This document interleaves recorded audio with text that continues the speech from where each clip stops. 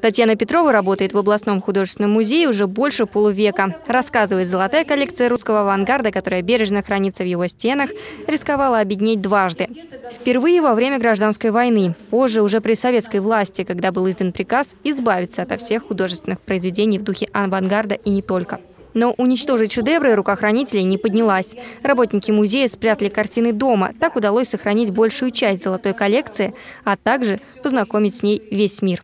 В 90-е годы они э, их отреставрировали, и они стали ну, такой очень большой ценностью. Нас стали просить эти вещи давать на выставки, на выставки за рубеж. И таким образом мы показали их и в, во все, на всех континентах.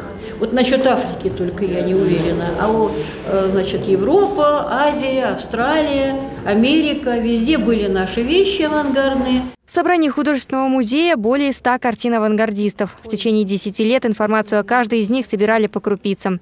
Потом еще год потребовался на то, чтобы все проанализировать и издать каталог. Около 200 страниц, которые погружают в мир передового искусства, как назвали авангард в начале прошлого века. Переплет издания украшает работа Ольги Розановой «Полет аэроплана».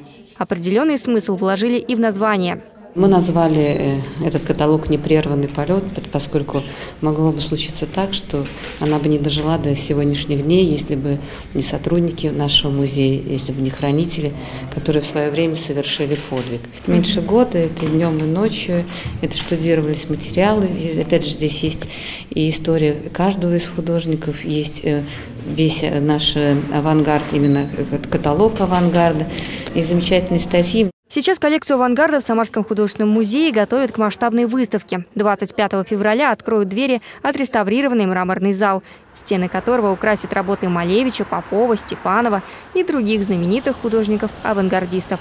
Мария Левна, Николай Сидоров. События.